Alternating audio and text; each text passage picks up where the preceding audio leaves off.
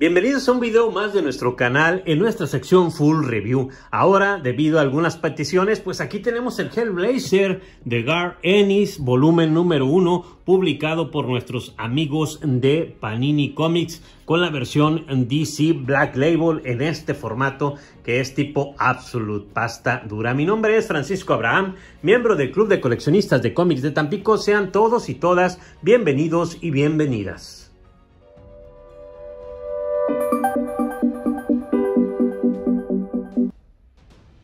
Pues debido a las peticiones aquí está el Hellblazer ya en este formato Absolute que pues nos está trayendo Panini Comics. La verdad están haciendo una buena labor con estos tomos pasta dura de un tamaño considerable ya que este formato de Absolute viene siendo de los más grandes que se publican de 32 centímetros por 21 centímetros. ¿Qué otros tomos se han publicado por parte de Panini? Bueno pues tenemos varios. Este que tenemos aquí de Watchmen que viene siendo la colección completa de los 12 números y que ya reseñamos en el canal. Y también están iniciando las publicaciones de White Last Man, que también viene siendo este mismo formato Black Label. Formato Absolute, como verán, están de este tamaño que es más grande que los omnibuses en cuestión de lo que es la altura y la anchura. Así que esta colección de Hellblazer pues comienza con este formato hermoso. Bien, pues vamos a checar los detalles. Aquí está el título, el acabado que tenemos en las letras es barniz a registro, al igual que estas dos calaveras que se muestran aquí, esqueletos, y que el fondo con el rostro de Constantine viene siendo en acabado mate. En la parte de abajo pues trae eh, los autores William Simpson, Steve Dillon, Mike Hoffman y David Lloyd, que vienen siendo los encargados de los números que aquí aparecen. El logotipo de Panini Comics en la, eh, en la portada también. El logotipo de DC Black Label, que aunque no se nota mucho, por aquí está. Y por Garth Ennis, este genial artista que aquí retoma o bueno, va a empezar a escribir lo que tiene que ver con Hellblazer. En cuestión de lo que es el lomo, viene de esta manera, muy bonito, muy bien acomodado, sí me salió muy bien. DC Comic Black Label, Hellblazer por Garth Ennis, los autores, eh, la imagen que viene siendo esta misma. Aquí lo que me llama la atención es que a veces se enchaparran o alargan las imágenes. Aquí la enchaparraron un poco, o sea, la apretaron y se ve más gordito el personaje, ¿verdad? Aquí viene bien. Y aquí viene más gordito. Aquí viene que no ha comido, aquí ya comió. bueno, es modificación que le hicieron o le hacen en varias de estas imágenes que aparecen en los lomos. El número uno, porque inicia la colección. Y tenemos esta bella imagen que está en la contraportada. Esta que está aquí, pues no, no pertenece a los cómics que aquí vienen. Esta es del número 61 y aquí pues no, no viene esa historia todavía viene lo que es la sinopsis, La Oscuridad Infernal, clásicos de terror de Garth Ennis. Y aquí tenemos lo que es pues la sinopsis de lo que vamos a encontrar.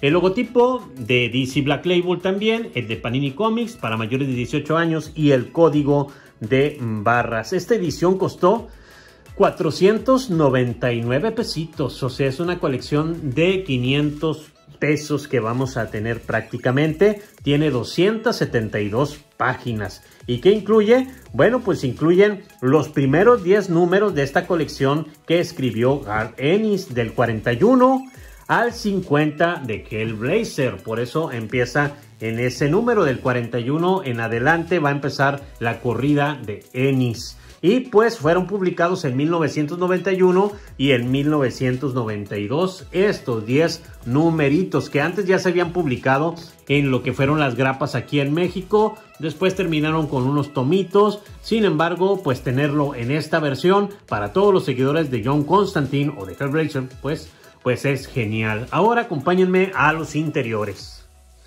Tenemos la hoja de pegado que viene siendo con lo que es la segunda de forros, tenemos también la hoja de presentación. Aquí viene John Constantine en un bar tomando. Tenemos una doble hoja de presentación con lo que son los créditos autorales. Gar Ernings es el escritor, los mismos eh, artistas que mencioné y tenemos que los colores son de Tom Siuko, también las tintas como Mark Pennington, Mark McKenna, Kim de Mulder, Tom Sutton, Stan Watch y Malcolm Jones III. Las tipografías son de Gaspar y pues tenemos aquí que John Constantine es creado por Alan Moore, por Steve Bissett, John Toblerman y Jamie Dalano, junto con John Ridgway. Pero el principal que todos conocemos pues es Alan Moore. Bueno, pues aquí tenemos lo que son los créditos editoriales de Editorial Panini.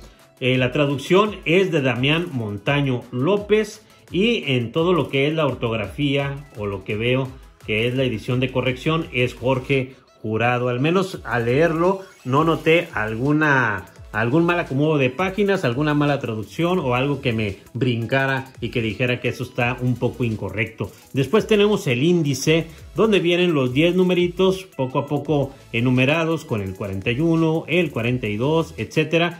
Pero empieza siempre esta serie con lo que son los números que comprenden el arco de hábitos peligrosos.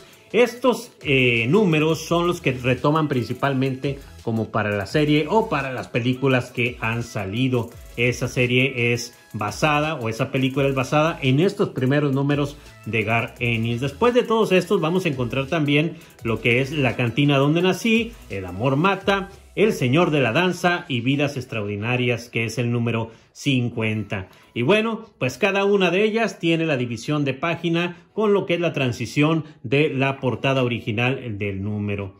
El dibujo, pues no es que digamos el que les agrada a todos. Recuerden que la década de los noventas en Vértigo, pues había muchos escritores, muchos dibujantes que también exploraban cosas diferentes, que mostraban un arte más maduro, más para adulto, más tipo de novela gráfica, que lo que conocíamos en ese entonces por todo el mundo de los superhéroes. Así que esto es muy diferente a lo que cotidianamente vemos con las aventuras de Marvel, DC o incluso de Image Comics. Aquí pueden notar la diferencia en cuestión de los colores, que son colores basados en lo que son las paletas muertas, que vienen siendo los colores azules, los colores grises, uno que otro rosita, verdecito y deslavados de tonos de piel. Todo esto habla de que te muestra un cómic más para adulto que un cómic para niño. Y esto se ve a leguas en lo que escribe totalmente Ennis.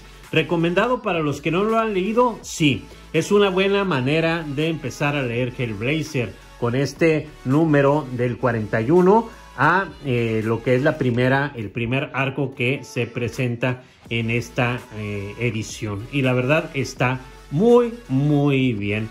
¿A él te gusta lo sobrenatural? Adelante.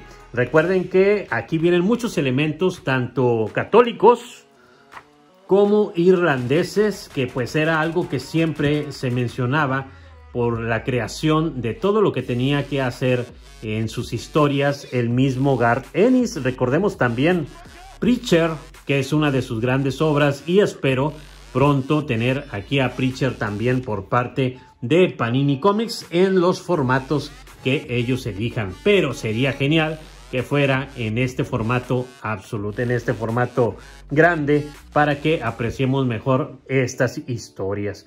En total, Garth Ennis eh, escribió 47 números de Hellblazer, así que vamos a tener una buena colección. Prácticamente, si llevan estos números así a la par como contienen estas eh, ediciones, pues vamos a tener cinco tomos. Así que probablemente uno venga con menos o probablemente algunos vengan con más, pero es un aproximado en lo que vamos a tener el total de los 47 números de este autor.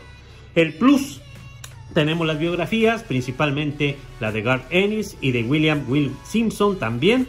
Tenemos también lo que es la de Steve Dillon y Mike Hoffman. De estas historias, eh, la que más me gusta a mí es la número 49, donde hace mancuerna Steve Dillon pues con Ennis, ya que esa historia es una historia navideña donde eh, John Constantine está buscando un regalo especial de Navidad y se va a encontrar con un personaje que tiene que ver con esto de que no le gusta la Navidad. Y eso para mí pues es un punto a favor. Además que ya termina también con la presentación del Rey de los Vampiros, que viene siendo un personaje que también en un futuro va a tener peso en toda la historia de Hellblazer. Así que si eres seguidor de lo sobrenatural, de los demonios, cosas que tienen que ver con todo aquello del catolicismo y hablando del infierno, hablando del demonio, hablando del diablo, etcétera, aquí lo vas a encontrar. Bueno, pues por mi parte es todo. Espero les haya agradado este rápido full review de nuestro canal. Gracias por estar aquí, gracias por su presencia. Les recuerdo que la ficción está en nuestras manos y desde Tampico, Tamaulipas, México, les mando unos abrazos poderosos.